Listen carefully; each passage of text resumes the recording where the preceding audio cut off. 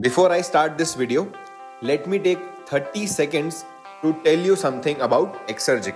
Exergic is India's most trusted and most experienced institute for online GATE preparation. I am Chandresh Mahajan, founder and chief educator at Exergic.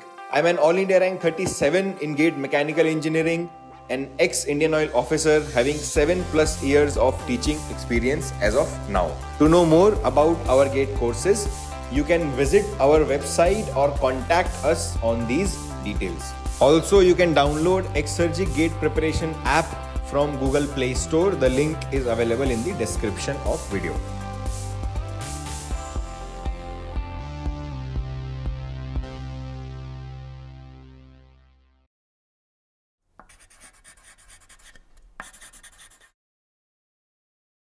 Now have a look at this interesting question. Question is easy, but I have made this question slightly tricky. So it's an MSQ question.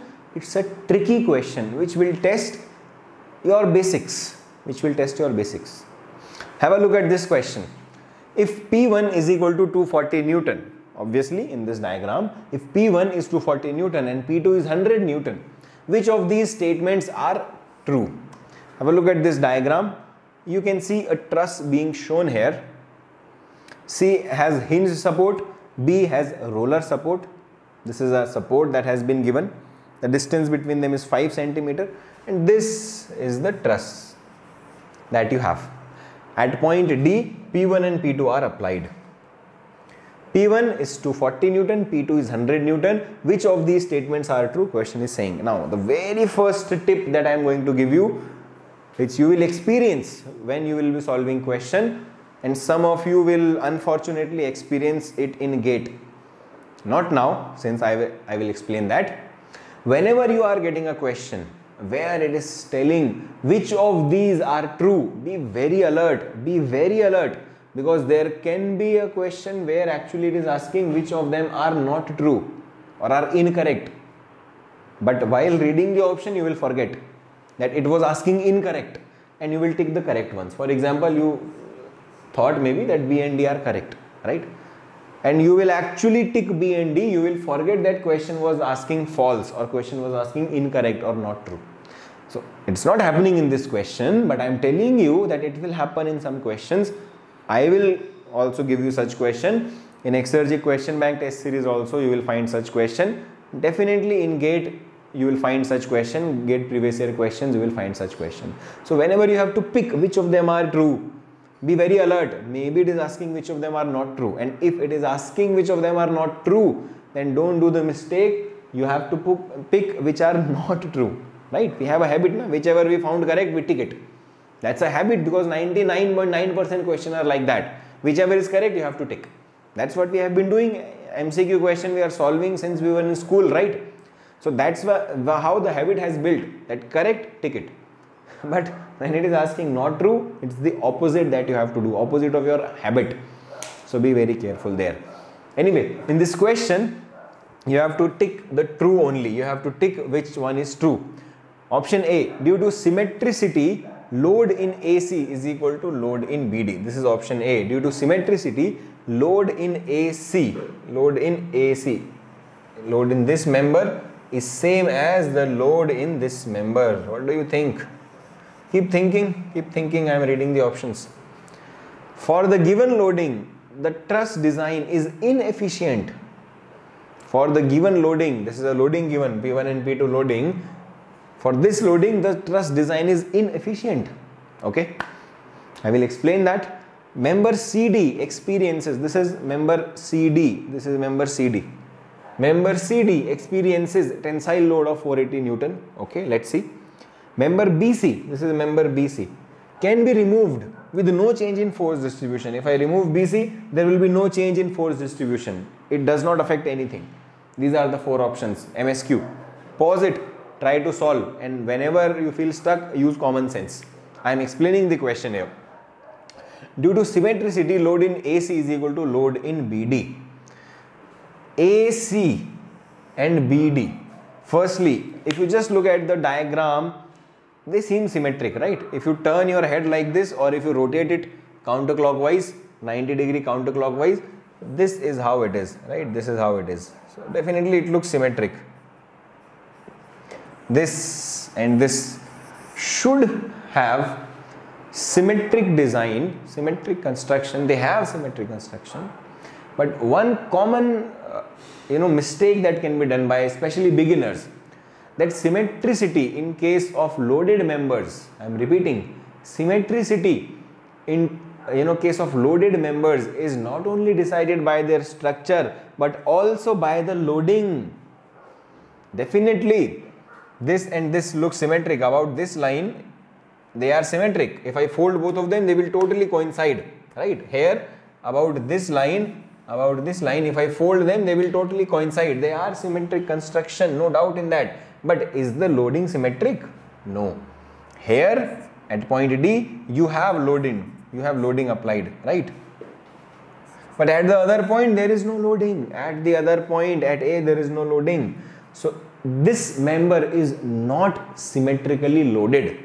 It is structured symmetrically. Its structure is symmetric but loading is not symmetric.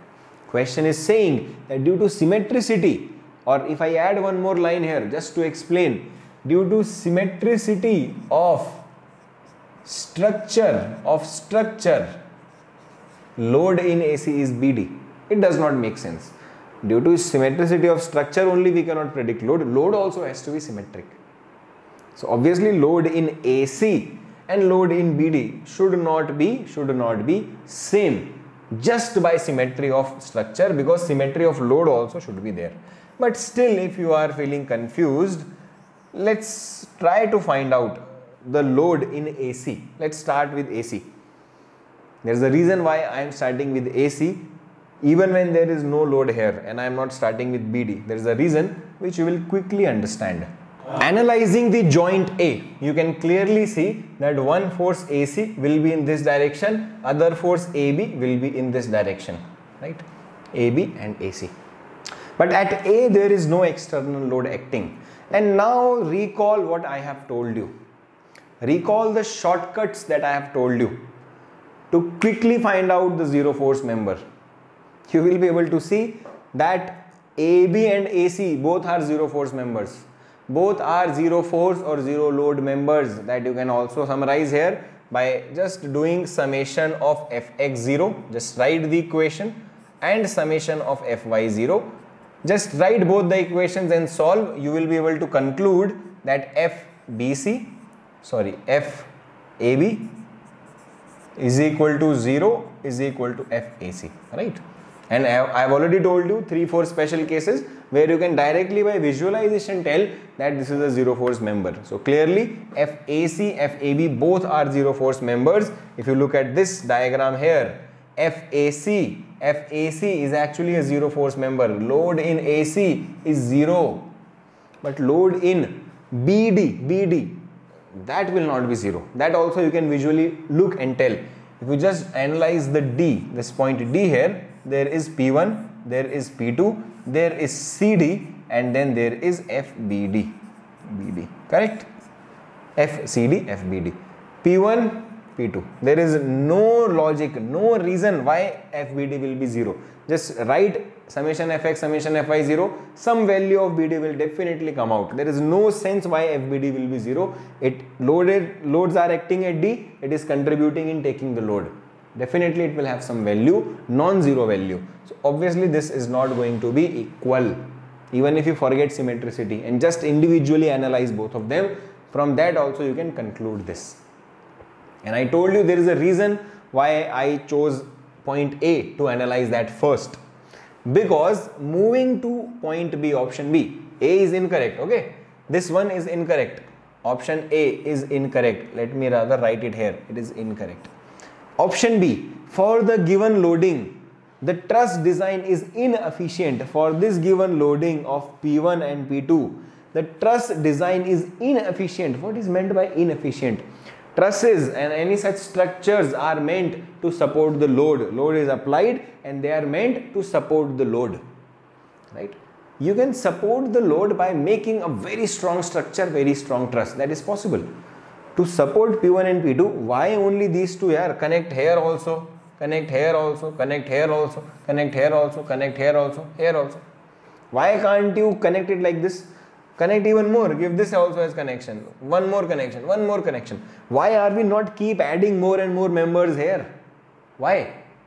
Why any of the design that you see? Why you don't have you know structures where more and more and more material you are putting just to ensure everything is safe? Because design should be efficient, it should be a balance between load carrying capacity as well as the weight of them because in practical situations whenever you are going to make such trusses amount will be spent. Material is not free.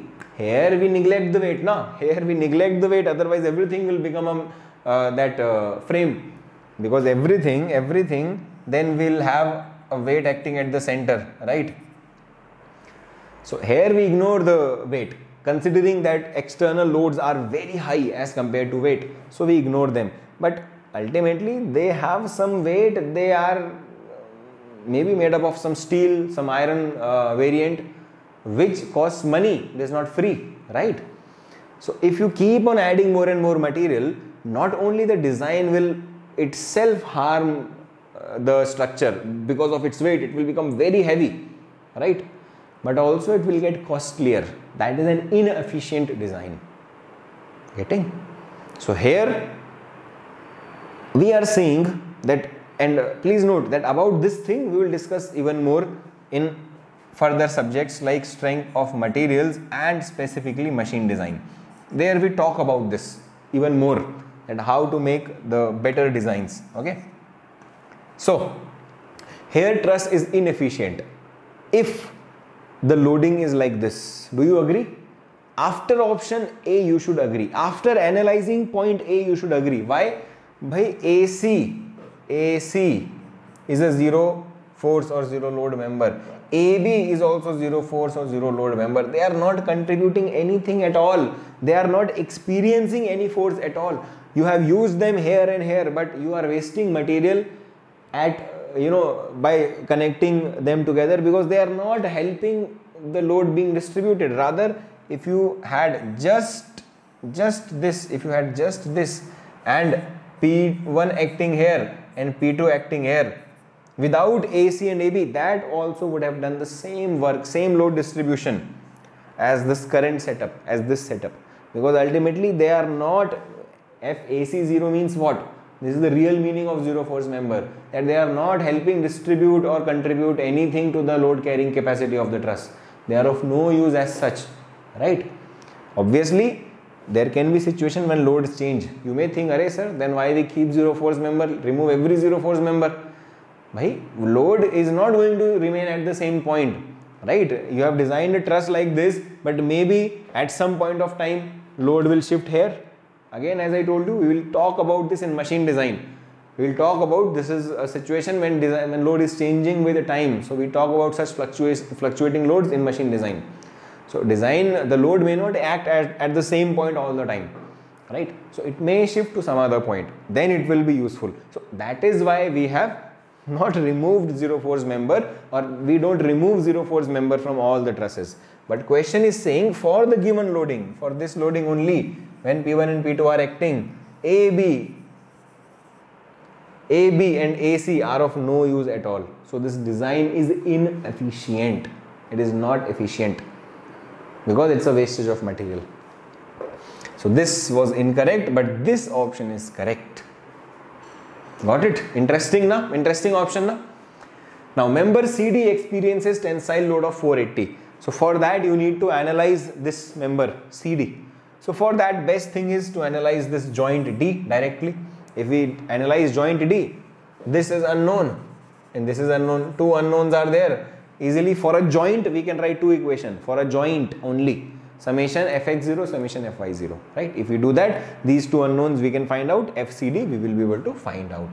Let us do that. If we analyze joint d summation fy is equal to 0 gives us this equation which find out the value of fbd right? You can easily do that. It's one of the most basic things of truss that we have done earlier only right? Obviously notation we need to decide. Here is the notation where upward direction is taken positive right? Let me rather quickly tell you upward direction is positive so 100 going downwards is negative.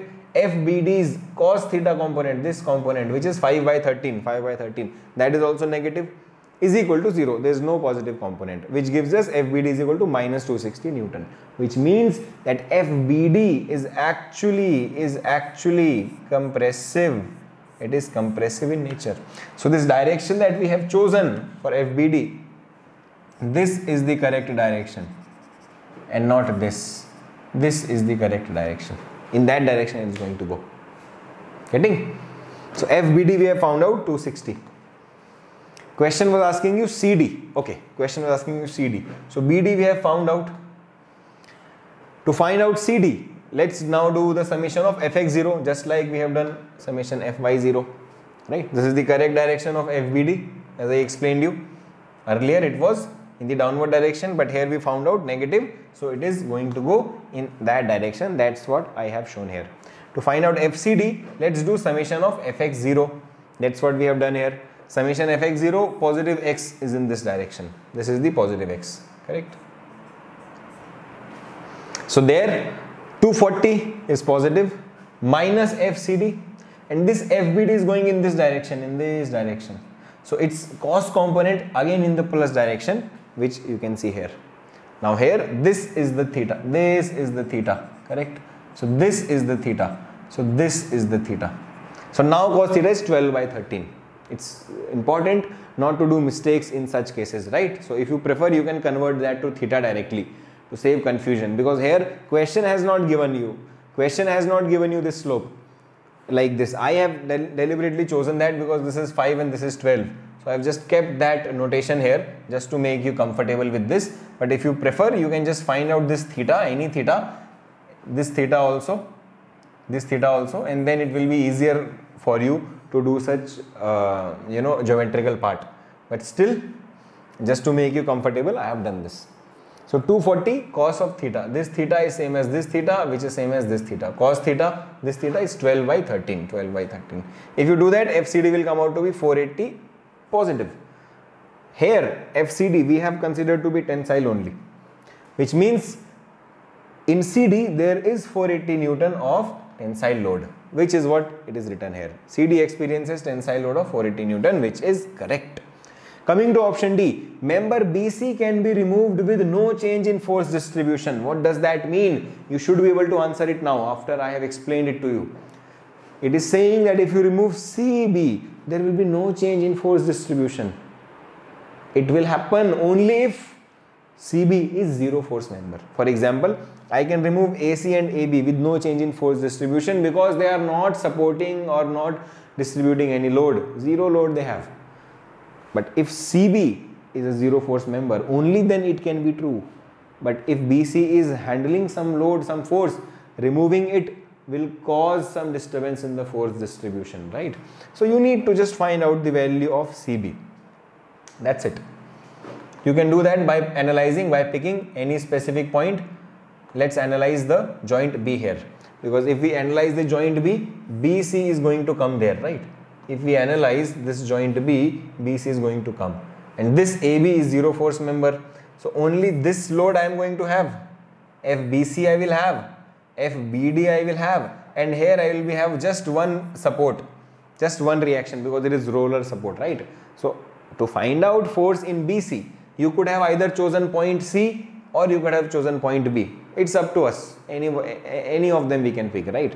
So roller is simpler only one unknown is there. So roller support we have picked. So there will be one force FBC for now. Let's check it if it is zero force or not. FBD and then reaction at B from the roller, right?